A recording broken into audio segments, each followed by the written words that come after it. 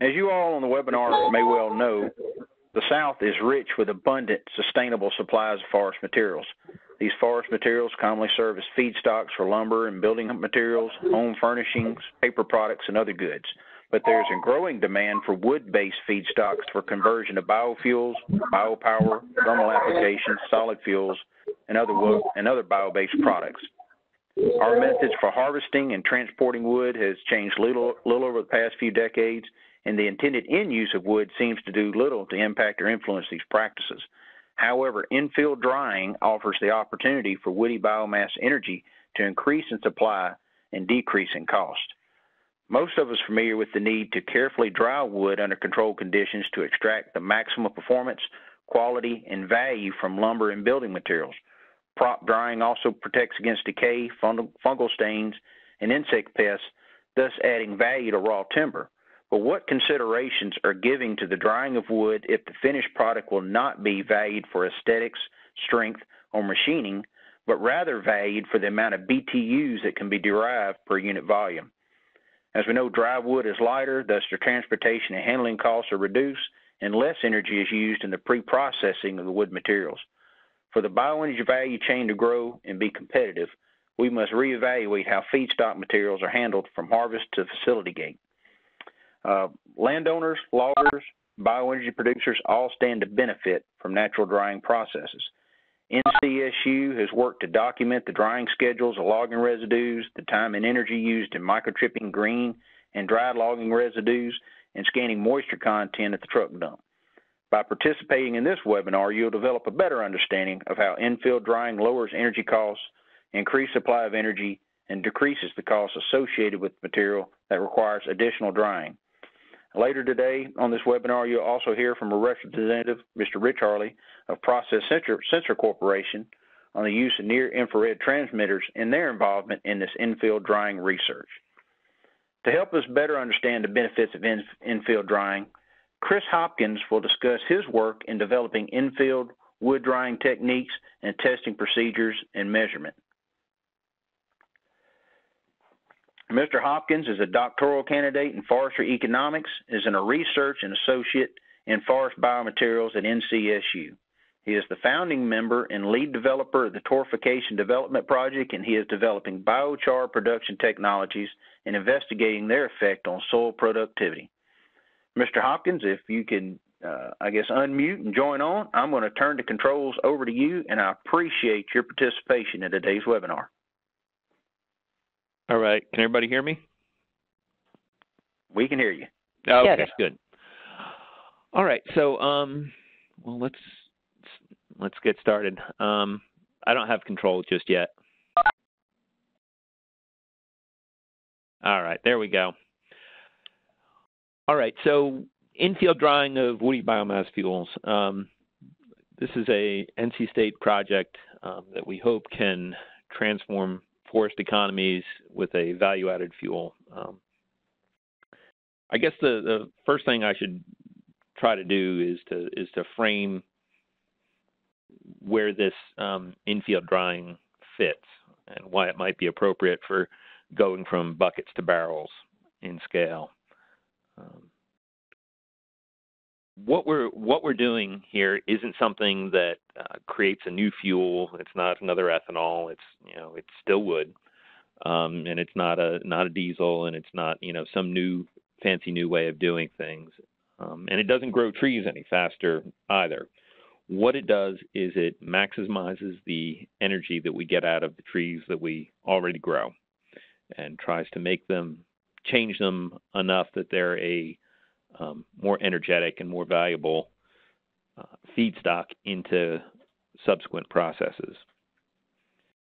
So, and with that, we'll just get started. Um, so we've we've had a lot of partners um, as we've moved forward doing infield drying. Um, NC State is where I work. The Biofuel Center of North Carolina was a recent funder of us before they um, their existence was ended by our state legislature. Um, currently, the funding that was coming through the Biofuel Center is now coming through North Carolina Department of Agriculture.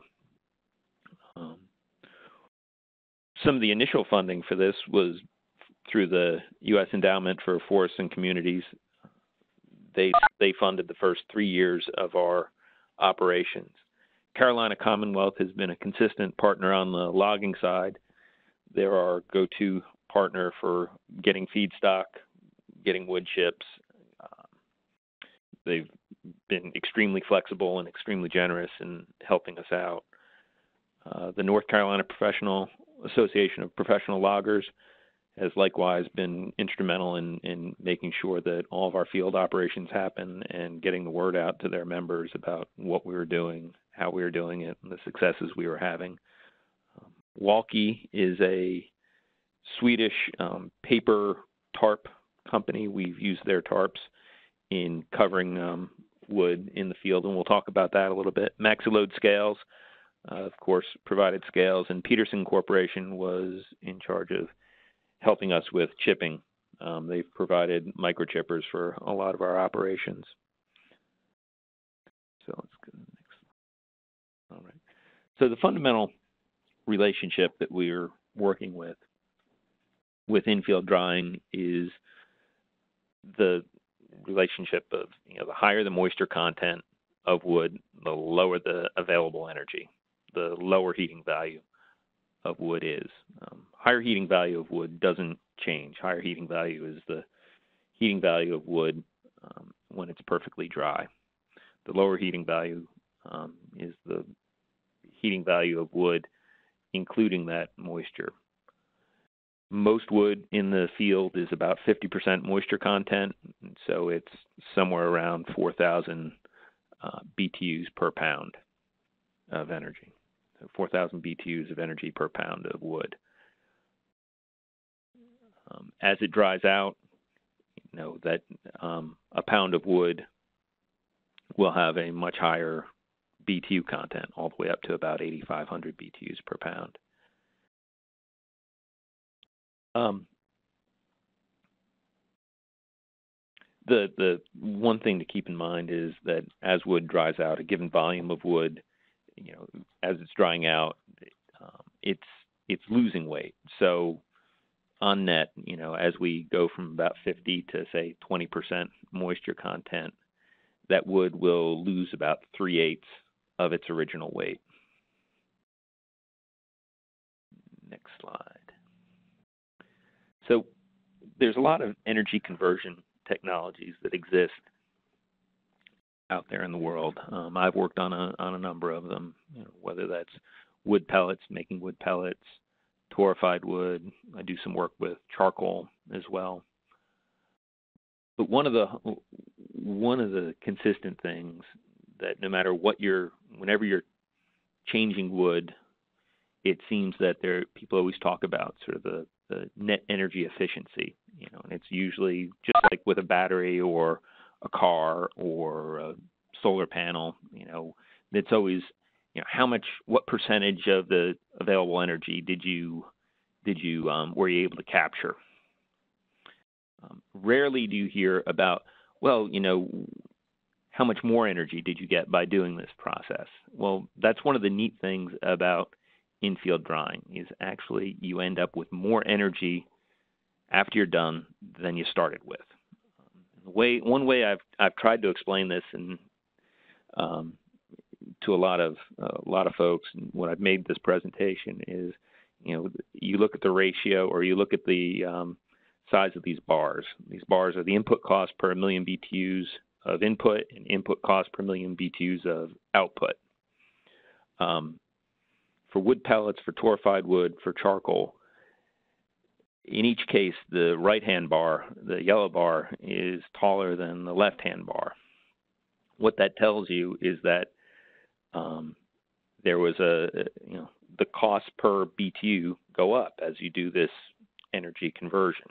Now, in many cases, there's a good, very good reason for doing that. You know, wood pellets, you're making something that is a flowable, easily transportable, relatively dense product. Likewise for torrefaction, you know, um, same reason generally was always true for charcoal. You know, you're you make a more energy dense product, and in in what you give up is some of the original energy to do that. In Greenwood, on the left-hand side, you see that you know both the input and the output costs are the same because we haven't done anything to it. Now, what's different about chips from air-dried wood? You know, 20% meaning 20% moisture content. Um, what's different is that the input cost per million BTUs of output cost goes down. It's the one it's the one instance of all the cases I have up there where the cost goes down as you do the drying. And we'll explain a little bit about why that is if it's not immediately or intuitively obvious. Um, potential of in-field drying from 50% to 20% moisture content. So as you dry out wood, and wood will just dry out, you know, it, it like it does uh, when you're stacking firewood. The reason people cut their firewood green and then stack it up, let it dry out, is you end up with more energy and you end up with a better product for, for burning. It's not as smoky, catches fire easier, um, just lots of lots of good reasons. Doesn't make as much creosote. But uh, one of the main reasons is you actually end up with more energy. So um, along those lines, you can lower your energy delivery costs by about almost 50% per unit of energy. That's a that's a important fact to keep in mind. Essentially, what you're doing is you're able to put twice as many BTUs on a, in a given chip van if you're chipping up dried wood. Uh, you can increase the supply of energy from the forest resources around you by about 25%, somewhere between 25 and 33% um, increase in the total energy from your forest resources. You also can decrease the cost of drying prior to pelletization by a very, very large degree, about 75%. So those are some of the potential benefits. And the nice thing about wood drying is that everybody should be able to share in the uh, value chain. All the all the essential elements in the value chain can share. Landowners, um, essentially, they're going to be increasing the energy production on their land by that same proportion. So they don't make a whole heck of a lot of money right now on energy wood. Maybe they get paid a dollar per green ton. So conceivably, at least, you could reward landowners by, in proportion to the amount of increased value that's coming off of their land. So maybe they get a little bit of a pay raise for their wood. The wood goes from a dollar to a buck twenty-five or a buck thirty-five per ton delivered. Um, loggers, on the other hand, transportation is a huge component of their costs for delivering wood energy to a power plant or to a to a pellet plant. Transportation is typically half the total cost, so the total savings could be as much as 25% per unit of energy, uh, wood energy delivered. Power producers uh, they stand to gain by having a de- decreased sourcing radius um, and also a uptick in their boiler efficiency because they're not moving as much water vapor through their boilers. They end up with a much higher efficiency. Um, basically, you've got hotter, less hotter gases as opposed to more less hot gases in the in the water in the case of wood with water vapor um, embodied along with it. So it's a it's a good way for power producers to end up with a much more efficient plant. Next. All right. So the reason we think this is feasible and something that might be achievable in the southeast of the U.S. is that it's already done in Scandinavia. It's not exactly the same situations we have in North Carolina, but um, I might take a minute to describe how it's done in Scandinavia. Typically, they do their harvesting um, during the spring, summer, early fall. Typically, they're doing stroke delimbing out in the field, and so they have lots of piles of logs, lots of piles of slash.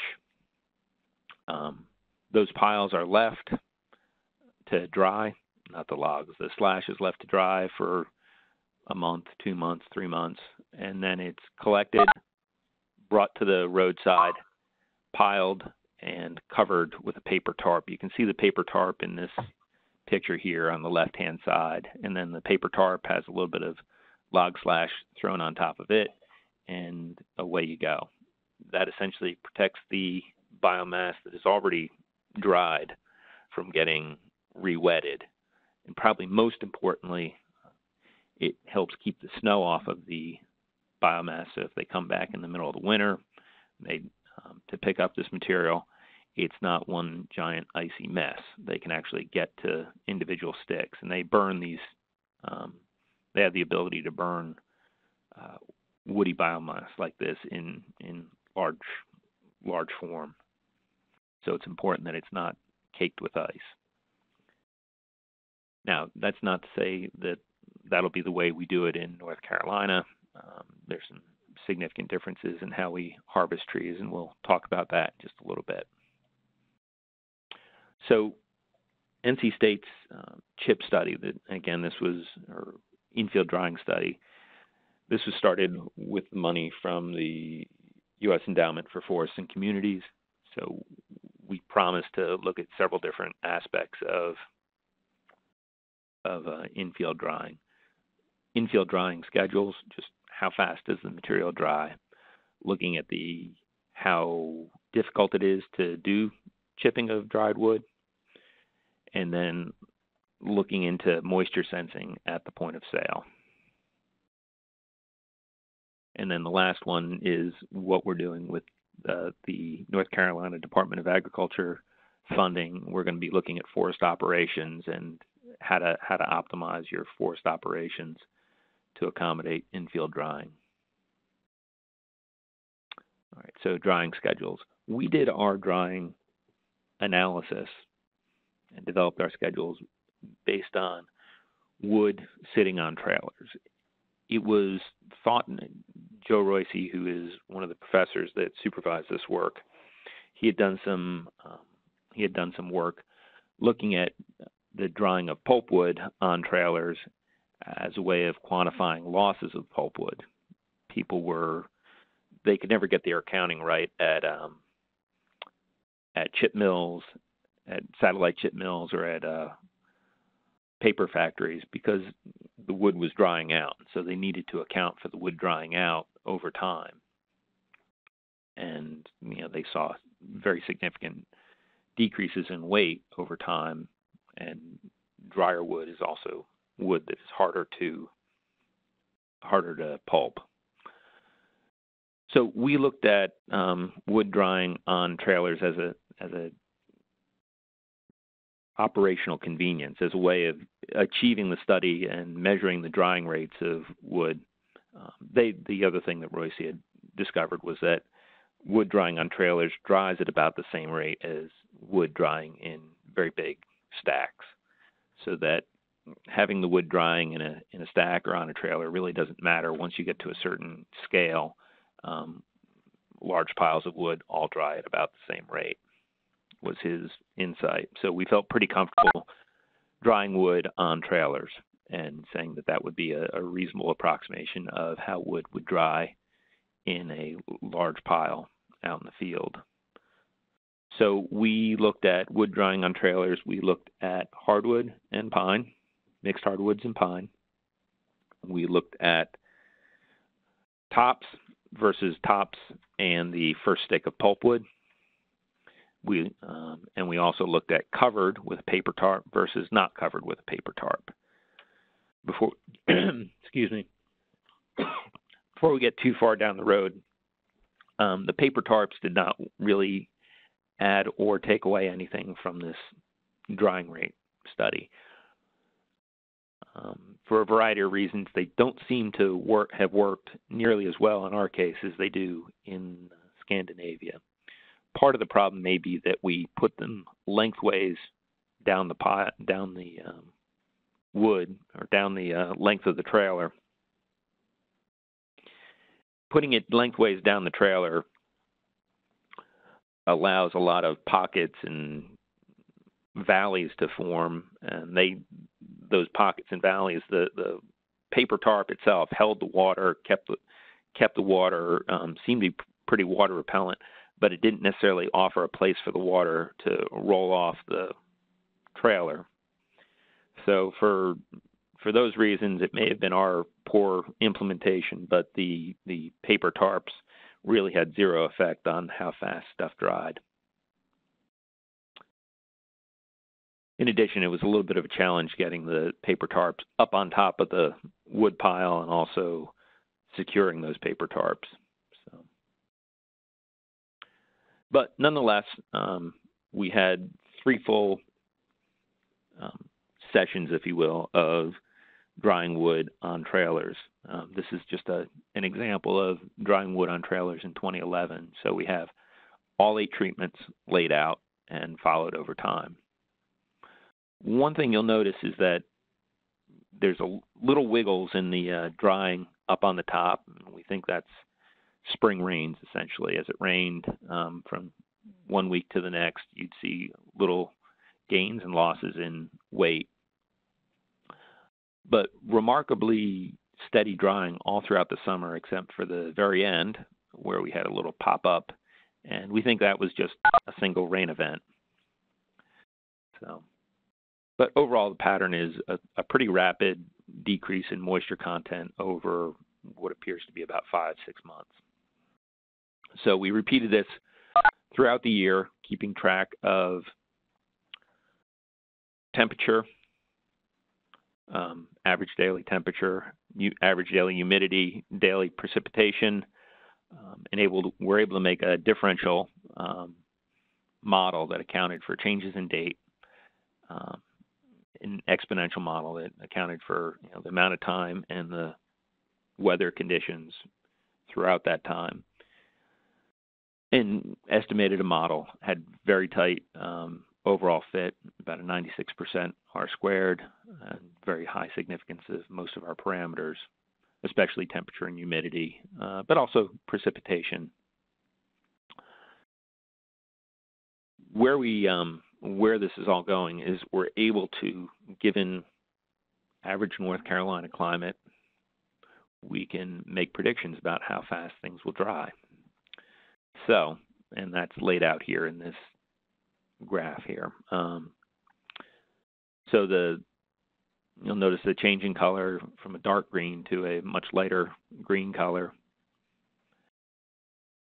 And what you see is that you know the month of initiation, the vertical axis, you know, we can uh, we can incorporate the month of initiation and follow it all throughout the year. We do that for all the different um, oh, throughout a, a full annual cycle. So, regardless of when you start, whether it's January or December, you're essentially exposed to the full breadth of relative humidity and temperature throughout that year. And eventually we end up at about the same degree of drying. So you can go from 50% down to about 10% moisture in more or less 330, 360 days.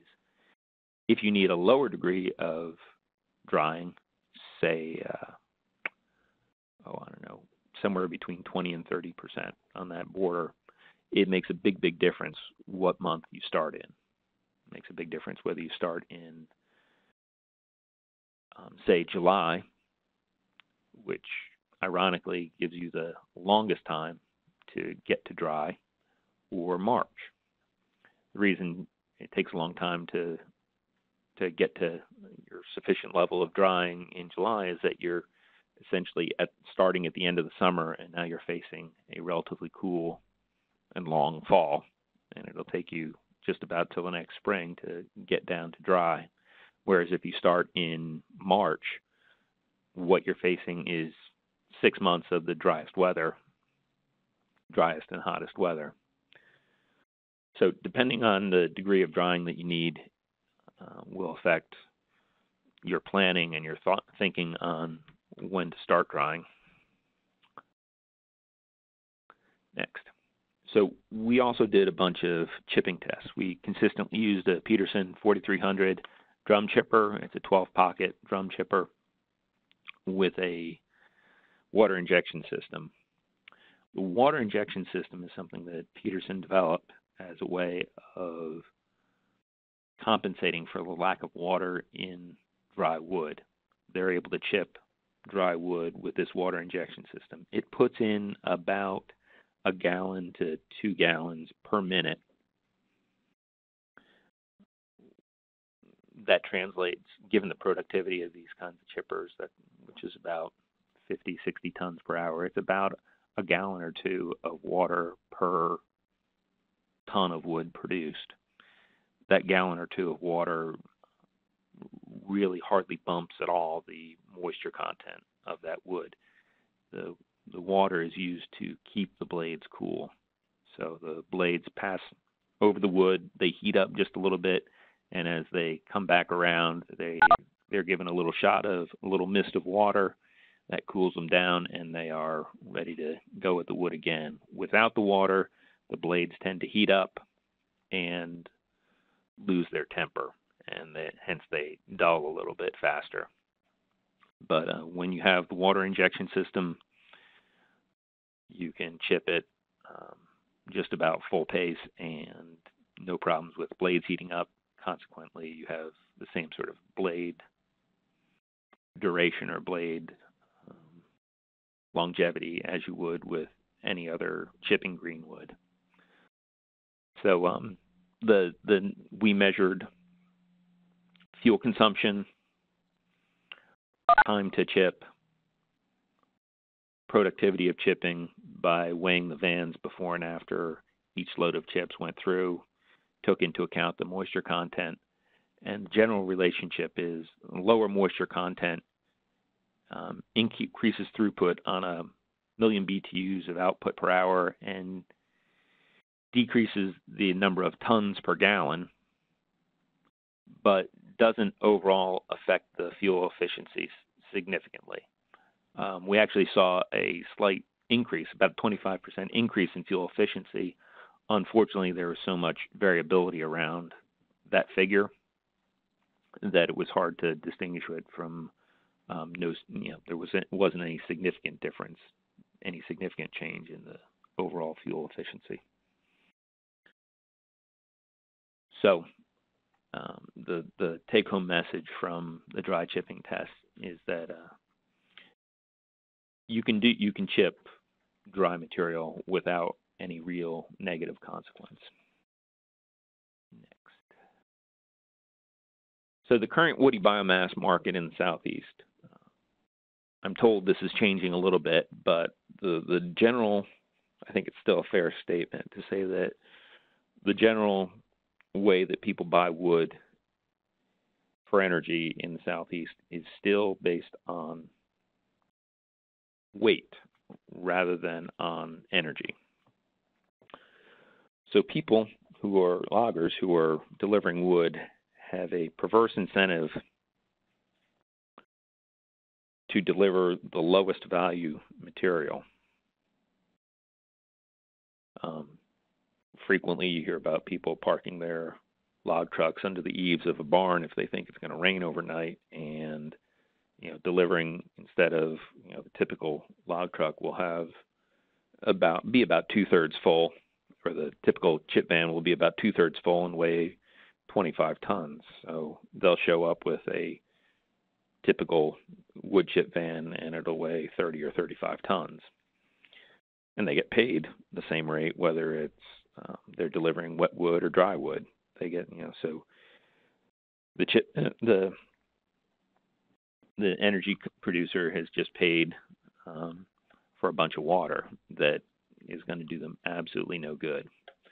So, if there were a fair way to reward drying activity, drying activities at the point of purchase, that would go a long way to resolving the this perverse incentive to deliver water to people who don't need it. Next. Hey, Chris, it's yes. Helene. Uh, um, you've been listing a lot of uh, million BTUs throughout the presentation. I was wondering mm-hmm. if you could provide the audience maybe with um, the B, the average BTU value for maybe um, pine, and then the average BTU value for hardwood, and maybe how that's different. Um, you know, say if you have something that's, I guess, you know, extremely wet wood or dry wood, you can Okay. kind of gauge that a little bit. So probably the high, one of the highest value, highest energy value um, species we have are pine. Um, the downside of pine from an energy point of view often is that it has a lot of sap, a lot of pitch in it, and that tends to be tends to be sticky and um, isn't necessarily the most con- most conducive to burning other than you know, and it's a it's a small difference. It's a difference of about 400 BTUs per pound. So pine may be as high as 8,800. Some of the less dense hardwoods, you know, may have a energy value of maybe 8,400 BTUs per pound, 8,300 BTUs per pound. Um, when they're wet, you know, the um, the relative benefit of pine versus hardwood seems to seems to vanish. They they both go down into the low 4000s, maybe maybe the high 3000s for energy content per pound, depending on um, depending on just how wet they are. Wet wood chips can, you know, if you've got a pile of wood chips that has been freshly soaked by the rain, can easily be 55, almost 60% moisture content. Typically, you know, freshly harvested wood chips that are, you know, put through the the chipper in the morning and arrive at the say an energy plant in that afternoon will have a moisture content somewhere between 45 and 50 percent. If they're allowed to dry for just a couple three weeks, you know, it may drop to 40, and it'll slowly keep drying. You know, let's say it's good favorable weather, nice dry spring. You know, they'll lose weight consistently um, and get down into the 20 percent range probably within three to four months. Um, we've measured some some trailers of chips that were as low as 15, 16 percent after I think five or six months. So the critical value for maximizing the amount of energy on a chip van, excuse me, is about 20% moisture content. At that Okay. At that energy content, you've got um, you've maxed out the volume of a chip van and have and still have you know all the weight on there. If you get drier than about 22 and a 22 percent moisture content, you can keep your chip van completely full, but it doesn't you know it and it'll have more and more energy on it, but you don't get a a market increase in the um, energy content for that for that chip van. You there's a essentially a dog leg or a kink in the um, in the relationship between total energy on a on a van and um, and uh, moisture content, and that turns and gets a lot less steep. That relationship between total energy and moisture content um, gets a lot less steep right around the 22% mark. All right, So, Chris, so let's, if you let's compared that to coal, say you're comparing the 22% to coal, what would the BTU value of coal be? Is that like 14,000? coal, coal is around um, typically coal is around 12,000 BTUs per pound. Good bituminous coal Okay. on a lower heating value scale. So okay. Coal is is of course yeah coal is a much more energy dense um, product. It uh, it pulverizes all the way down to a powder, and the way people burn coal is um, is as a powder. They burn it as an aerosol. Um, they move they move the coal around the plant as an aerosol. But um, and that's actually one of the reasons we pursued the torrefaction technology. It's it's a way of turning turning wood into a product that can be pulverized a lot like coal can and be burned in that same aerosolized form. But uh, going back to a way of rewarding drying activity, um, if you could measure the moisture content at the point of sale as the truck is being lifted up and all the wood chips are dumping out into a bin or a hopper. Um, that would be the ideal way of measuring measuring moisture content and being able to, to reward people on delivered energy rather than on weight. So we found co- several companies that thought they might be able to deliver on this, uh, on the promise of real-time measurement of moisture content. Moistech was one of them. Process Sensors, who you'll hear from a little bit later on today, and Malcam were able to ship us um, sensors that we could test uh, in the lab. Um, again, Malcam process sensors and Moistech. And we had, this is a picture of the truck dump at Craven County Wood Energy, and that's where they lift up the truck um, and the trailer, uh, open up the back gate, and boom, all the chips fall into that bin. They're conveyed over to the plant, or actually to a pile and then to the plant. We'd originally thought that the best place to put a moisture sensor would be on that back bumper. Uh, Rich and Process Sensors talked us out of that, out of that uh, idea. We put the the sensor in a much smarter place um, on a belt just after the uh, just after that truck dump.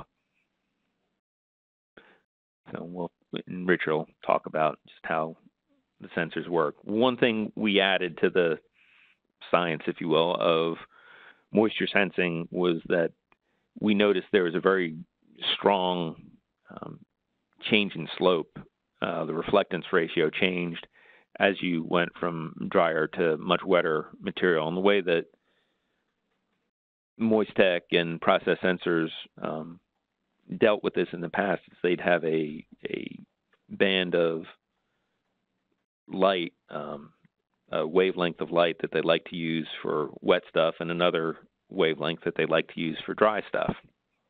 What we realized is that for both of them, what they were the reason there was this difference between wet stuff and dry stuff is I think the wood was you were actually looking at the um, fiber saturation point of the wood at at about 30 percent um, moisture content. The wood is fully soaked. All the vessels, all the internal structure of the wood is completely filled up with water, and now you have wa- water actually hanging on and around and between wood chips on the surface and I think that's what's going on.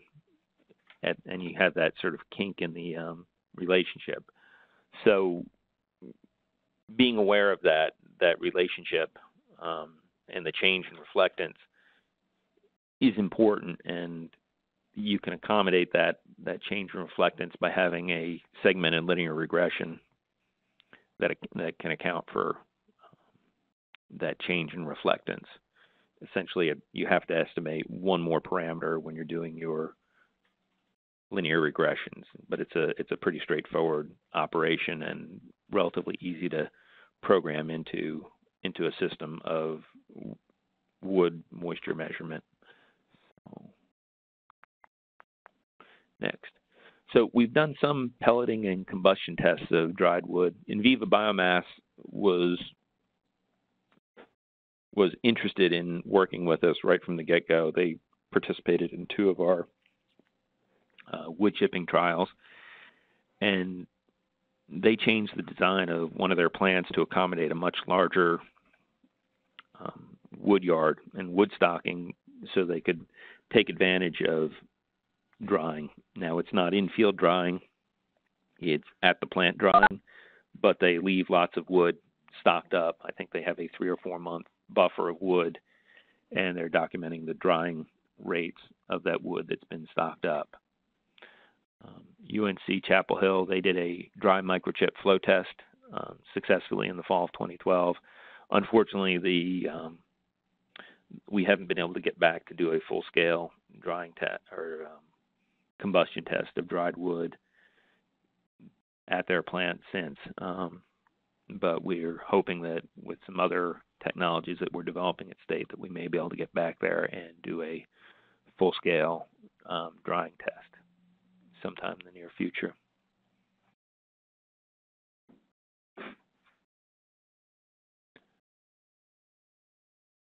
So, uh, moving on to the work that we're going to be doing this spring, summer, and fall. The study on the trailers was to document drying in a rigorous manner to be able to come back and weigh those trailers every two weeks and say, "Yep, the wood's drying," you know, and this is how important humidity and temperature are to the drying process. The new work we're planning on doing in um, the western part of the state, essentially the Piedmont and the and the mountains of, of North Carolina, we're going to be documenting drying and stacking techs, techniques, costs, and feasibility. And the idea is to come up with ways of stacking that are as efficient with as little extra equipment, time, and effort as possible.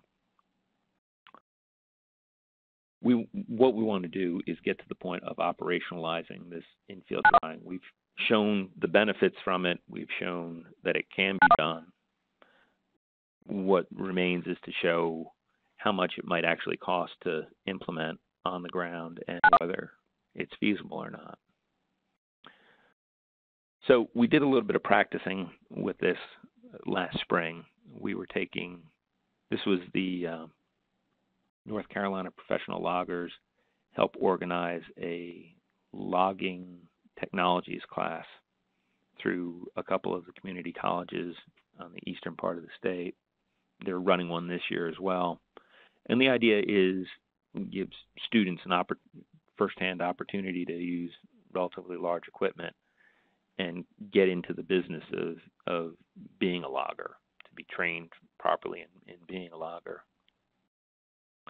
So we took advantage of them learning how to do uh, logging to build some waste wood piles so we wanted to try to build a pile that was um, relatively high, had little ground contact, and would get aerated well, and not need any specialized equipment.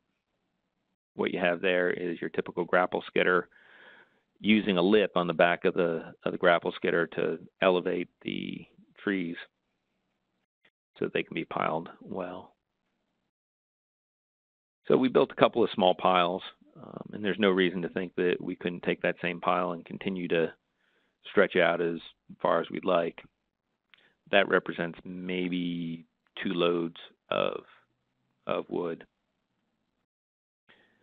And so what we came up with that seems to work well is sort of this butts out orientation. So the, the big meaty end of the stem, each um, each grapple load, was pointed out about a 30 degrees from the general orientation of the pile, or as much as 30 degrees from the general orientation of the pile. But the top, the, the lighter stuff, we attempted to get pretty much down the middle of the pile. This is sort of the butts out configuration. And what you see, what you'll see is that very few of these trees are actually in contact with the ground. Maybe you know one in ten of these stems is in, actually in contact with the ground at any point. If we can do that and, and maintain that, that will essentially simulate trailer drying. Should, and in fact, maybe even better than trailer drying, just because the things aren't packed in as tight as they are on a trailer. Quite often on the trailers, people were trying to the loggers we were working with were trying to get as much weight as possible on the trailer to make it quote unquote worthwhile. So they put the logs on there and interleave them. You know, one one log would be going, you know, would have the butt towards the end of the trailer, and the next log would have the butt towards the front of the trailer.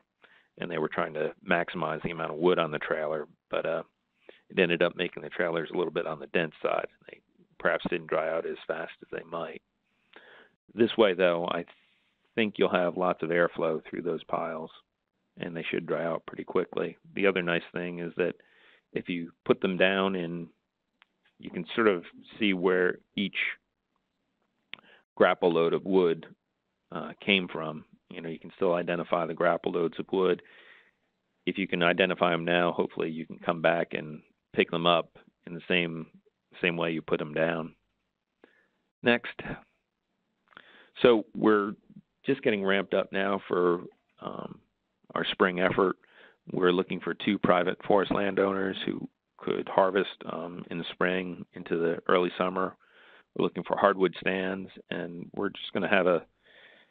We'll need to have about 200 tons of low-value hardwood on each property um, in two piles. One pile will be used for documenting the drying down. So we'll go in and destructively sample those piles over time to document the dry down rate, see if there's any differences in position within the pile um, or differences from uh, from diameter or uh, location on the tree, whether it was near the top or near the bottom.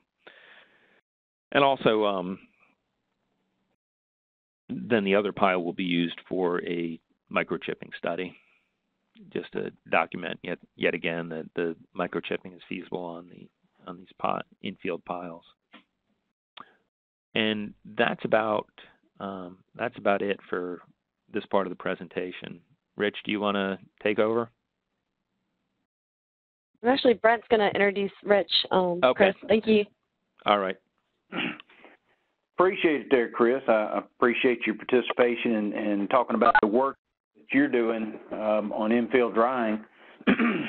As Helene mentioned earlier, we're going to be uh, taking questions and presenting them to the and providing the presenters at the end of both presentations. I already see one up there to, to everyone and look forward to hearing an answer on that. Uh, but if everybody could stick around and hold on to your questions, we'll move on to our next presenter, who is Mr. Rich Harley.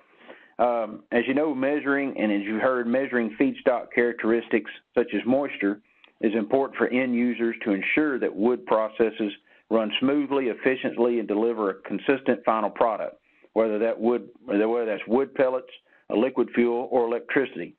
And joining us today to discuss the benefits of having accurate moisture measurements and the tools that are utilized to collect this info is Mr. Rich Harley.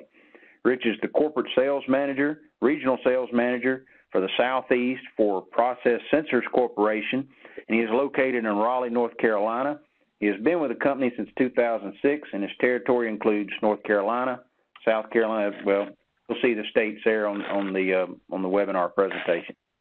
But Rich, I want to turn it over to you, and thank you for joining us today. Thank you, Brent, and thank you, Helene. I uh, hope everybody's having a good afternoon. I appreciate you guys taking the time out of your Friday afternoon to, to listen to uh, what Chris had to say. I'm going to give you guys a short presentation on process sensors, uh, basically what we do, uh, kind of what we do with the with the wood, woody biomass, and biofuel industry. Uh, you know why why you would use NIR. Give you a short explanation of what uh, near infrared technology means um, show you a couple of products, and then answer any questions you guys may have. So we'll get started. So, quick history of Process Sensors Corporation. Uh, we are a privately owned company.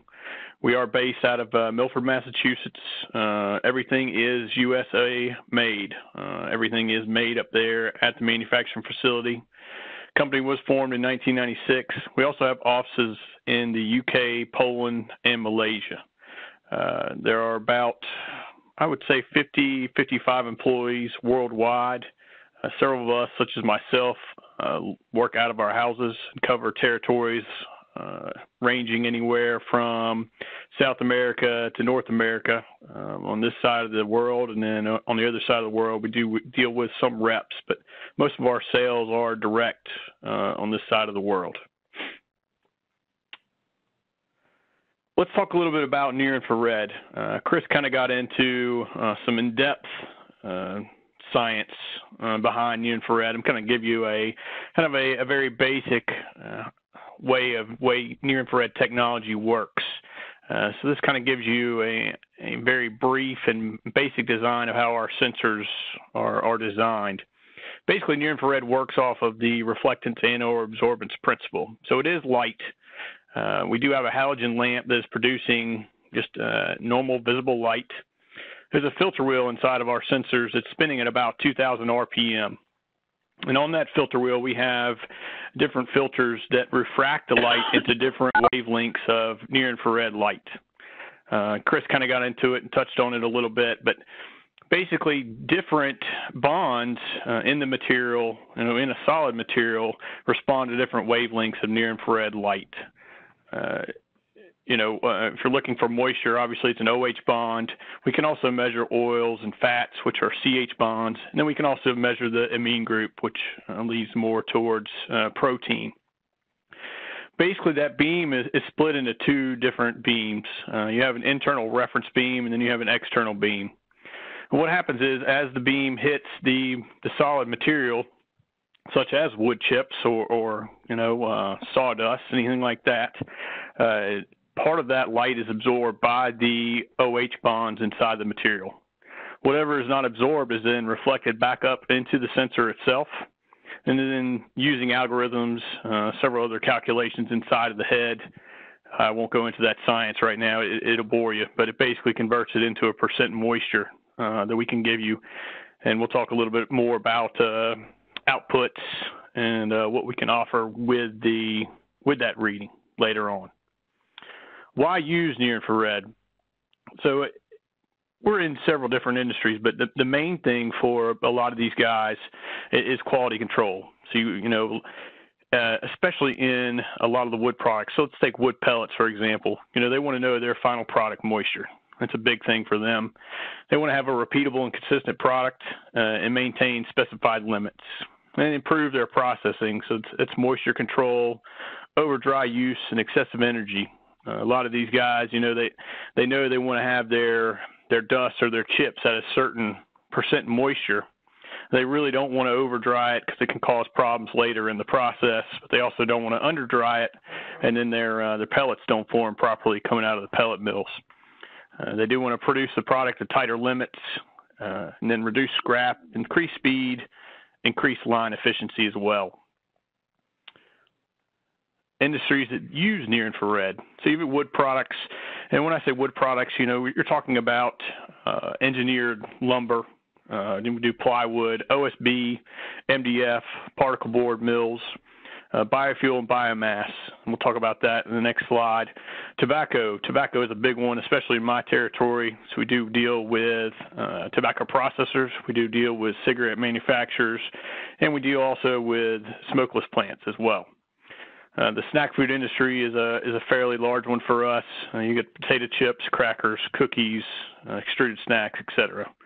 Coffee, minerals and chemicals, uh, paper film conversion, so it's anything uh, corrugated material, any any any plant that's that's probably putting a, a wax coating, uh, latex coating, uh, solid base coating, anything like that. That that, that uh, fits in the paper conversion. And then textiles, of course, uh, non-wovens, carpet. Uh, unfortunately, a lot of that industry has moved over uh, overseas. We don't have a lot of that left in the United States. So let's talk about some of the wood fuel and biomass applications that that our sensors are found in. Uh, as Chris has mentioned, the wood chips, uh, hog fuel, wood pellets, horse bedding, and of course uh, distiller grains that you find coming out of uh, ethanol plants. As far as the wood chips go, uh, let's talk a little bit about the project that Chris and I worked on at Craven. And Chris touched on this a little bit. Basically, what we are trying to do is is give the give the plant a good idea of what their moisture coming in was. Um, so basically, they knew what they're getting out of the out of the field and as Chris mentioned, you know, they're dealing with moistures ranging anywhere between, you know, sometimes as low as 20, upwards around uh, 60%, depending on, well, is it fresh wood? Is it wood that's been sitting there? You know, was it, was it wood that had been laying out, uh, drying? Well, as, as Chris mentioned, uh, maybe sitting out in the rain. The uh, thing that Chris was able to find, and, and a lot of the testing he did, was that it did have a strange strange curve, which we, we don't normally see. But the way the wood chips ran is we actually had to use two different sets of filters in order to produce the results that Chris was looking for.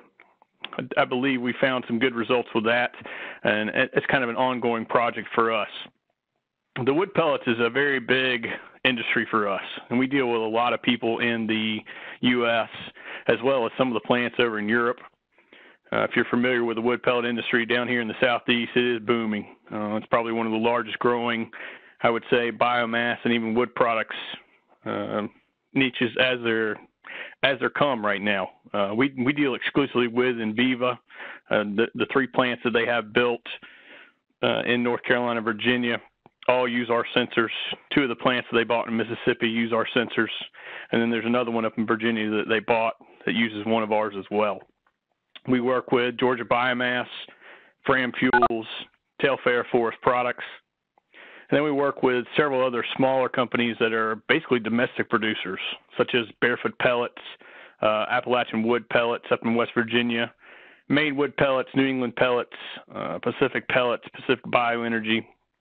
There's several more. Um, those on the uh, the East Coast, and there are some in the Midwest.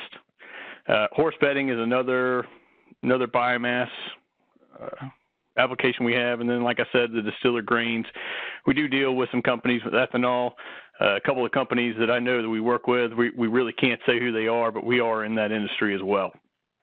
That gives you an idea of who we're who we're working with, and and some of those pictures kind of show you you know where some of our sensors are placed. So for near infrared, a good application is over a moving conveyor. That is an optimum optimum place for us. And that, like I said, uh, when Chris and I were working there at Craven, Chris kind of had an idea of wanting to put the sensor on the bumper of the truck dump. There were several limitations to that. Uh, there wasn't always a continuous flow. Uh, near infrared doesn't necessarily need a continuous flow, but it is a good. It makes it makes it much more uh, smooth process if you have a continuous flow of chips going past the, the unit itself. Just gives you a much better chance of getting a good reading.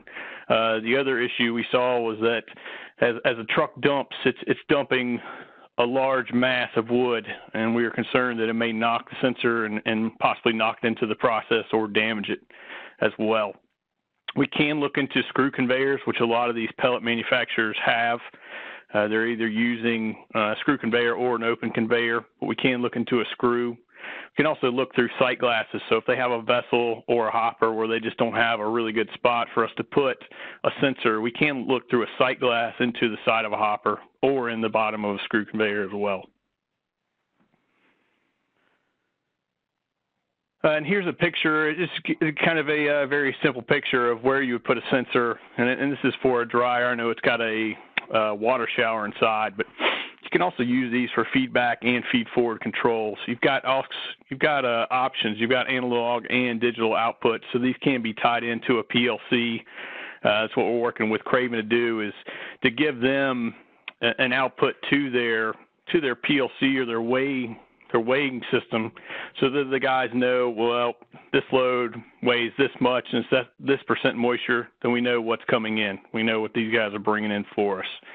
Most of the time in pellet mills, uh, the sensors are put normally after the after the dryer, uh, which is normally after the cyclone as well. And then a lot of times they will have the sensor mounted on a belt that's feeding the hammer mills. I'm going to skip this one real quick. So this is our MCT 460WP. Uh, Chris and I work with our uh, last generation, the 360WP. This is our, our latest generation. It's basically it's a rugged construction for harsh environments. It is once again near infrared. It is non-contact, non-destructive. It can give you continuous and instantaneous results. They are low maintenance. There's not a whole lot you need to do. Uh, if it is in a wood, a harsh wood environment, we do have uh, an air purge that will keep any dust or steam from condensating on the lens. Uh, the, the I've had these sensors and I've seen them in applications have uh, anywhere between four to six inches of dust on top, and they're still running just fine. So, like I mentioned, there are analog and digital outputs, and then you've also got Ethernet, Modbus, Profibus options in order to tie these into your system. And uh, this is our MCT 466 Quick Check. This is for benchtop or nearline moisture applications. A lot of uh, a lot of the companies, especially in some of these smaller biomass plants, will just have one of these in their lab, and it's great for just grabbing a sample from the process and you throw it in a pan. Basically, the pan rotates and it gives you a reading in about 10 seconds. Uh, there's no sample preparation. Like I said, you grab it and toss it in, and they can hold multiple calibrations for different products. Uh, so a lot of these plants also, uh, especially some of the power plants that are burning hog fuel, sometimes you may need a different calibration for the different types of wood you have. So if you've got hog fuel, or if you're bringing in dust, um, some larger chips and smaller chips may not run under the same calibration. So you may find you'll have different calibrations for for different products. Uh, and I appreciate you guys for your time. Um, here's my contact information. If you need any more information, I I do ask you to go uh, visit our website at www.processsensors.com.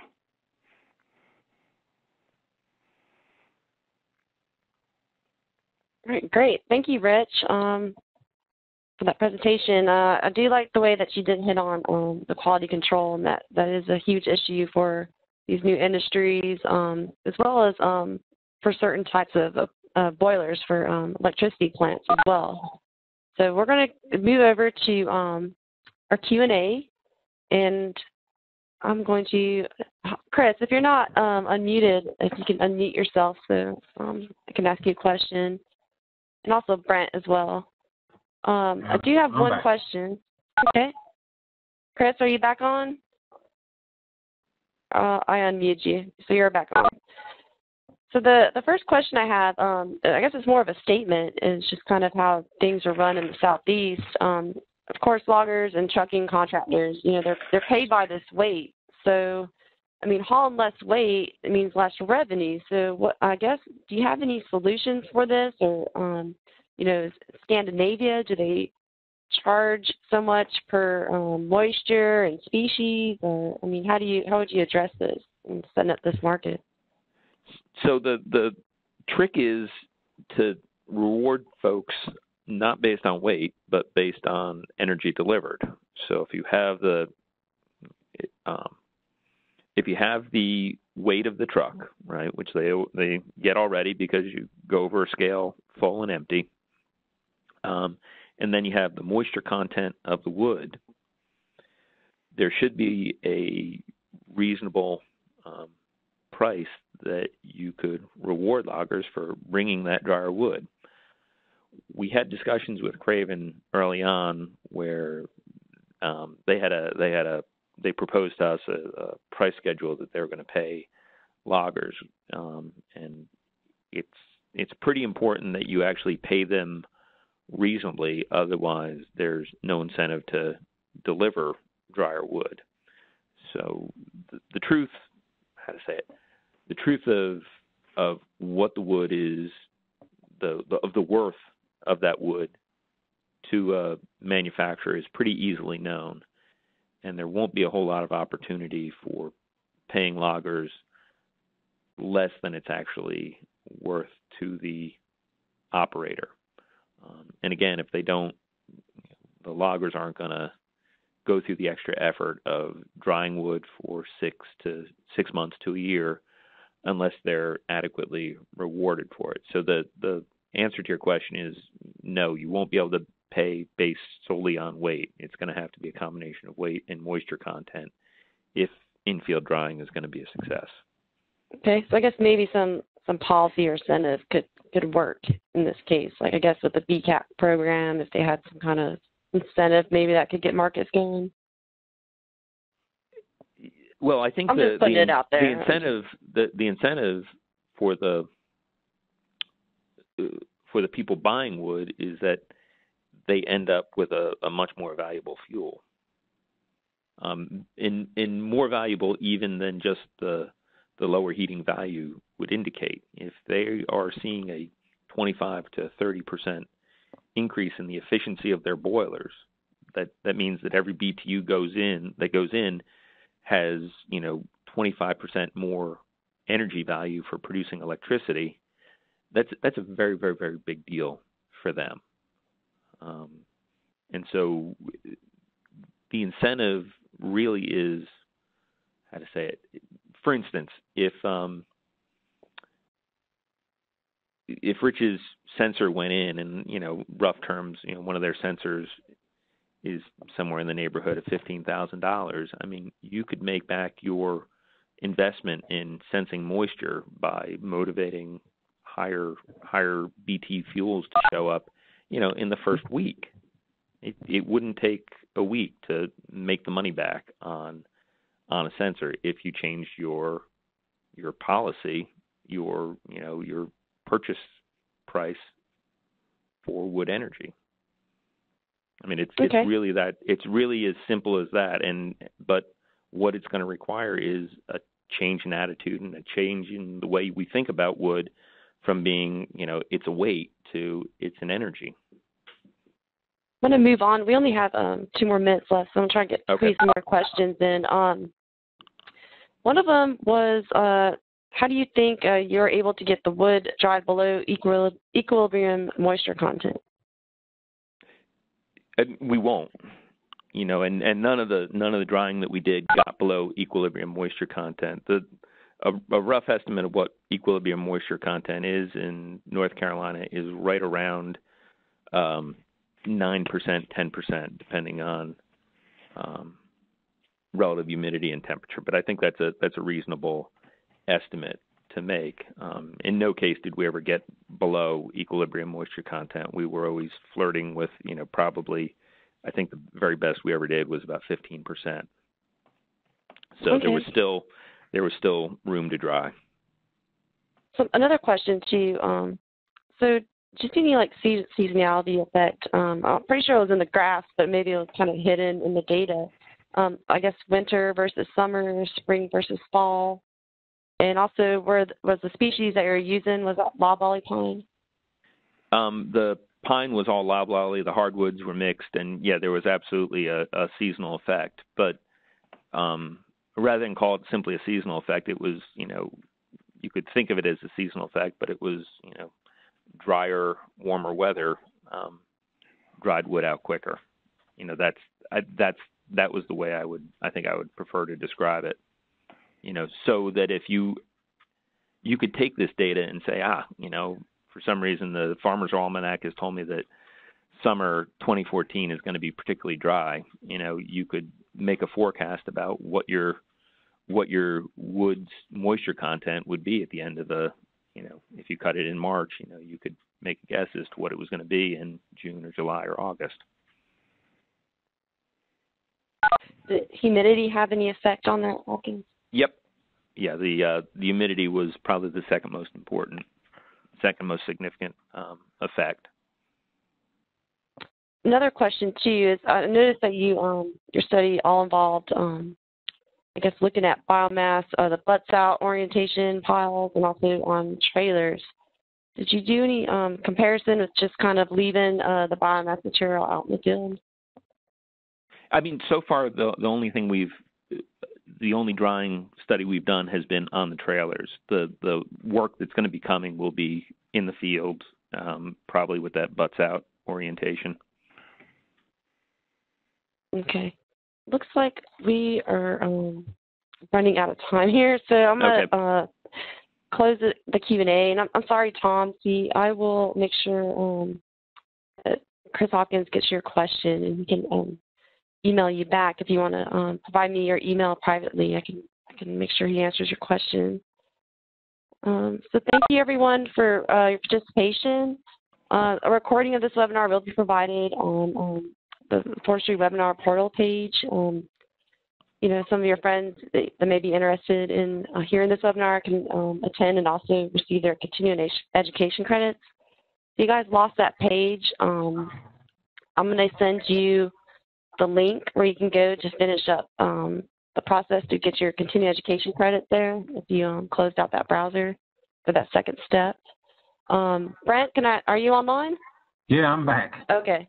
Well, I, I just want to thank um, I want to thank Brent. I want to thank our speakers, Chris Hopkins, Rich Harley. Um, you know, great job on uh, this this topic. Um, I, I feel like it's something that you know could happen in the near future. Um, looking at um, just the value of the material and energy, especially as um, you know as climate change kind of comes into effect and um, you know transportation costs and you know diesel increases and you know just a lot of um a lot of things at play that could I guess encourage um using um are purchasing this uh, biomass based on energy rather than um, tonnage. So I'm going to turn it over to you, Brent, if you have any last comments. And thanks again, everyone. I, I don't. I think, like I said, this is an interesting topic, and I think there's many ways to explore the combination between tonnage and moisture content, maybe create some kind of matrix um, in rewarding uh, a higher value fuel being delivered to the site. But I, again, I want to I express my appreciation to Chris and Rich today, and um, looking forward to the uh, folks' participation today. Hope they'll join us for future webinars, and I, and I think you have some information on that, you? Yes, I do. Um, we have another webinar coming up March 20th. Um, this is also kind of dealing with the, I guess I'm calling it the Renewable Fuel Standard Part 3. Um, this time around, we're going to look at the uh, fuel petition process and other requirements for um, you know, biofuels facilities that want to come online. Um, we actually have a speaker from the EPA, and we're going to be inviting someone from the private industry as well to um, kind of give their perspectives on, you know, what it takes to get these feedstocks approved and, um, you know, get all the necessary permits um, to start producing biofuels that will count towards um, the RFS2 mandate stay tuned for that. Um, you can always go on the website link there as well to see other upcoming webinars, and we do have a couple left in the series, so stay tuned. And thank you everyone for joining. Um, I'm going to go ahead and officially close this webinar now. Uh, I'll be on the line if anybody has any further questions they would like to ask me. I'll stick, stick around for another five, ten minutes. So thank you. Thank you, everyone. Have a great weekend.